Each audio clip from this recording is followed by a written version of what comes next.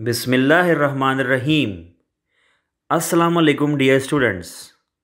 I am your chemistry teacher of class 8th and we are studying chapter number 1 Fundamentals of Chemistry. Today is lecture number 11. In the previous lecture we have studied about mixture, its classification, homogeneous and heterogeneous mixture and some examples of mixture air, soil, milk and brass. So in today's lecture we continue our from previous lecture that is example of mixture air, soil, milk and brass, difference between compound and mixture and revision of the formula of common compounds that we are revising from our previous lectures.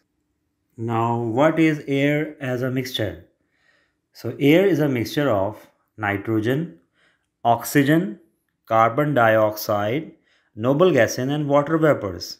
So dear students, when we ask a question in your test that what is air as a mixture, then you have to answer air is a mixture of nitrogen, oxygen, carbon dioxide, noble gases and water vapors.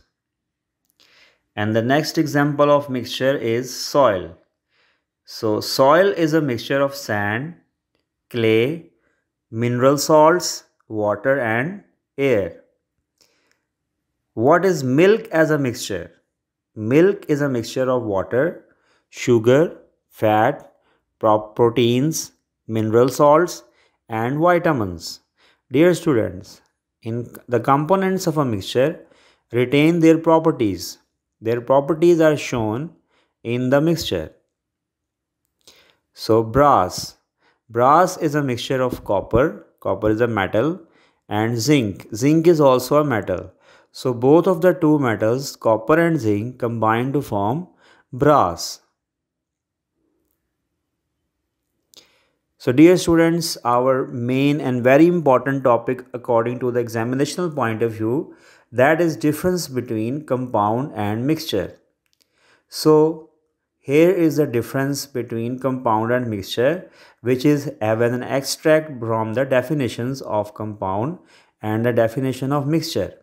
The first mixture first difference between the two is it is formed by chemical combination of atoms of the elements. So compound is formed when elements at, at atoms of an elements combine but mixture is formed by simple mixing up of the substances. When any substance, whichever in any form, these two substances are mixed with any ratio, they form a mixture. The second is, again I repeat, it is formed by a chemical combination of atoms of the element and mixture is formed by simple mixing up of the substances. The second one is the constituents lose their identity. The word constituents is basically called components.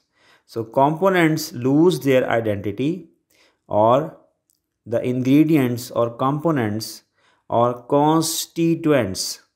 Constituents lose their identity, lose their representation and form a new substance having entirely different properties from them. Mixture shows the properties of the constituents, which means that if you are eating an ice cream which is a mixture, then the properties of ice cream are shows by its components.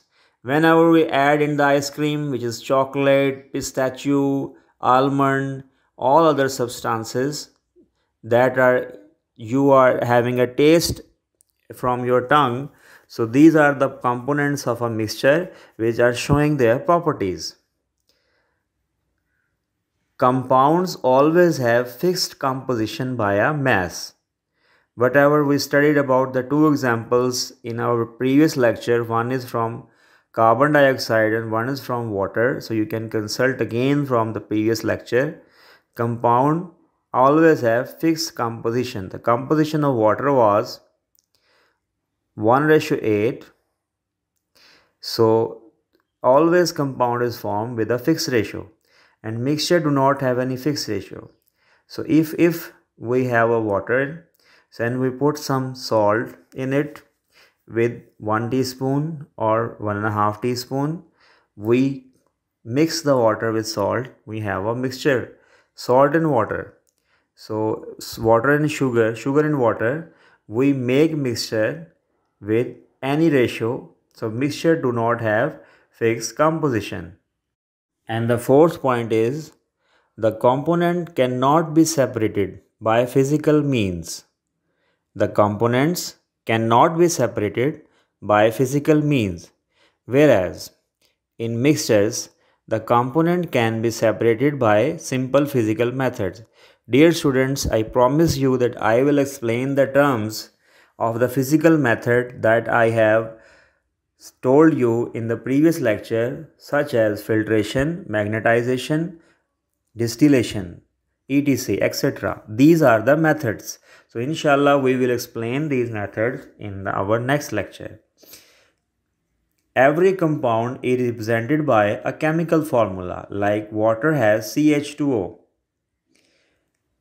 but at in the compared to in the mixture it consists of two or more components and does not have any chemical formula. It just has a common name.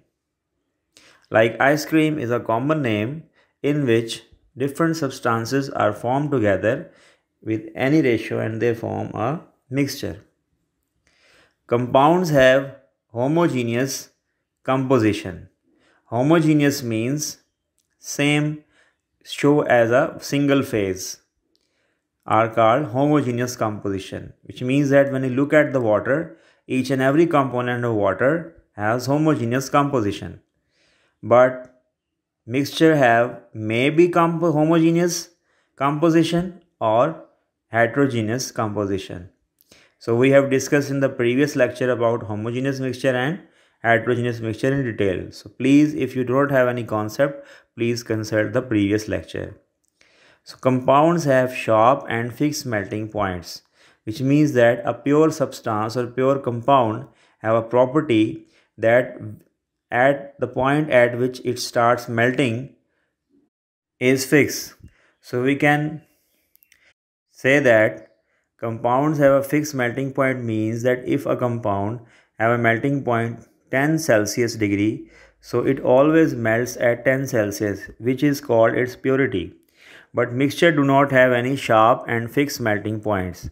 At any uh, melting it, they have melting and boiling points according to their composition according to their number of components that they have so dear students these are the seven points and which are which is which are very important according to the examinational point of view so you have to learn and practice and read this question difference between compound and mixture uh, with a special attention and you have to practice it again and again because this question is very much important according to the examinational point of view. Dear students, in the last, some common compounds with their formula. So I write the last four one chemical cal calcium carbonate limestone and its formula is CaCO3. Fourth one is sugar C12H22O11. Sulfuric acid H2SO4. Ammonia NH3. So these are the four formulas that you have to be learn and write the following four formulas thrice. Practice these formulas dear student. So in the end I have an assignment for you to learn and practice. Dear student the first question is differentiate between compound and mixture in detail. So it is a very important question. So you write down the differences between compound and mixture in detail. And a second question is what is brass? So what is a what you can say that what is a mixture of what is a brass as a mixture? And the last Allah Hafiz